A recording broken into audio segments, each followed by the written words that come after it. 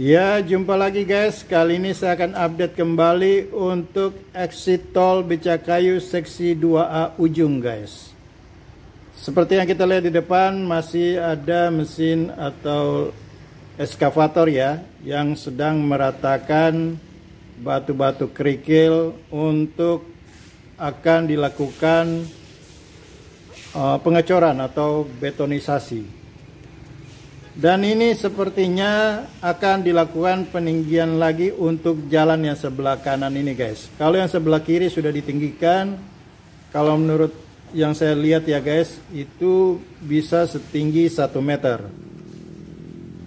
Nah yang di sebelah kanan ini sedang dilakukan penebangan pohon-pohon karena akan dilakukan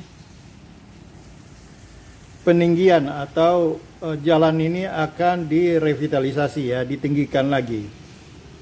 Ini disesuaikan dengan exit tol yang juga jalannya tinggi ya.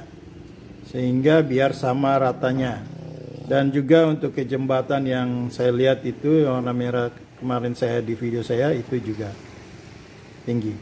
Nah, yang ini guys di sebelahnya lagi di pas di pintu keluarnya atau di jalan turunannya itu sedang dilakukan pemasangan girder lagi guys.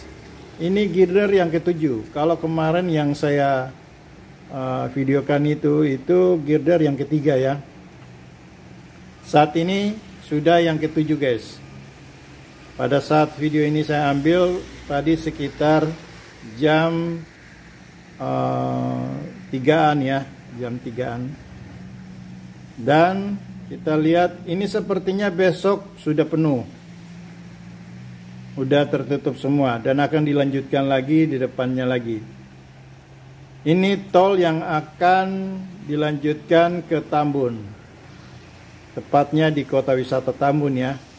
Jadi nanti akan melewati Jalan Hasibuan, Airil Anwar, Kompleks PUPR yang ada rumahnya Pak Basuki, dan seterusnya ke Bekasi Timur.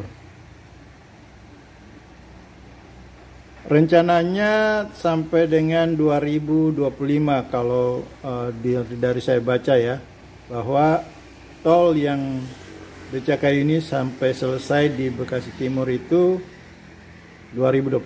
Sedangkan yang di sini exit tol ini yang saya tanyakan dari beberapa pekerja di sini katanya sih bulan Juli, bulan depan sudah selesai dan bisa dimanfaatkan di Agustus ya.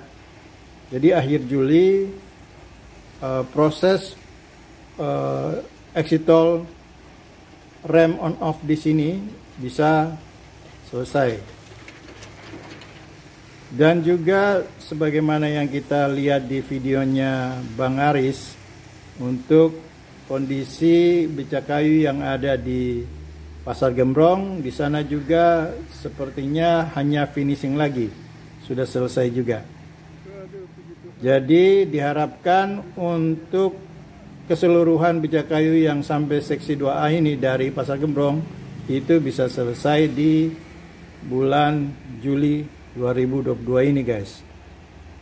Ya kita berharap semoga tidak undur lagi karena uh, proyek ini sudah cukup lama mandek ya karena adanya COVID-19